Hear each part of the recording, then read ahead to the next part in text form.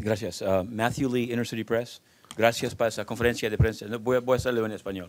Gracias por la conferencia de prensa de parte de la Coalici- Coalición Libre para Acceso a Naciones Unidas. Quería hacer mi pregunta sobre deuda soberana, que aunque se ha, se ha hecho un trabajo aquí, ah, Estados Unidos y otros países han- han- siguen, ah, eh, se oponen a que quieren que eso vaya a Fondo Monetario Internacional. Entonces, ¿cuáles son los próximos pasos en esta sesión de, la Asamblea General para que en realidad países como Argentina, Grecia y otros pueden eh, negociar su, deuda sin, sin estar ah, you explotado por, por estos ah, fondos buitres? por lo menos en Bolivia y Argentina acordamos los principios de la deuda soberana van a ser eh, respaldadas mediante una ley. No sé si el término es nacionalizar, no, sino va a ser refrendadas una ley, los principios de la reestructuración de la, de la, de la deuda soberana. Será un paso importante pero también mucho depende de la voluntad política de los estados asumir su responsabilidad para que estos principios aprobados se pongan en práctica. Habrá resistencia, lamento mucho. Esa es una agresión, también una, este fondos buitres es una agresión económica a los países.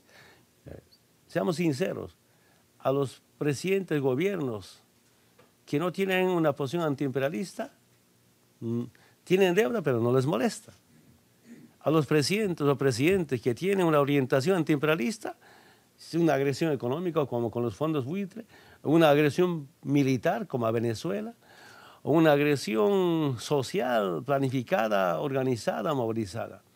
Yo diría felizmente nuestro continente es un continente en paz. Y saludo este acuerdo, el esfuerzo del hermano presidente Santos de acordar con la FARC.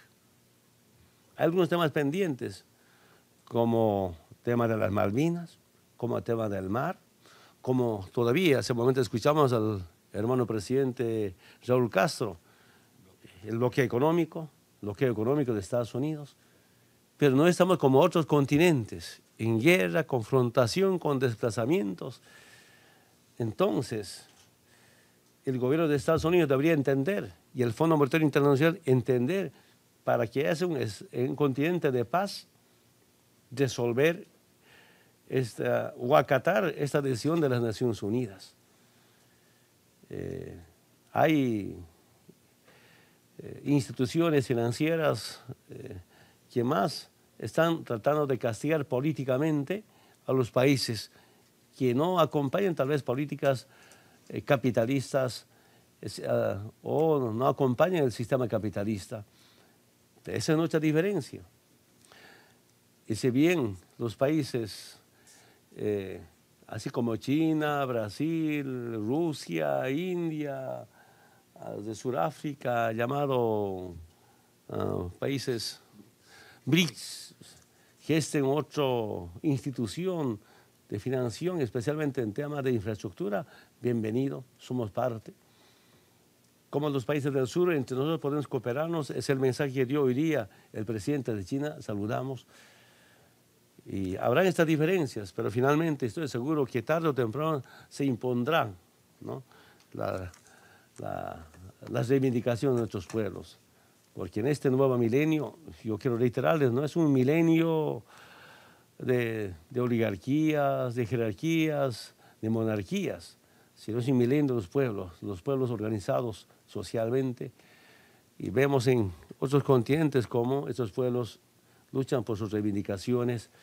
Significa como realmente em, que haya igualdad, que haya dignidad, que haya soberanía.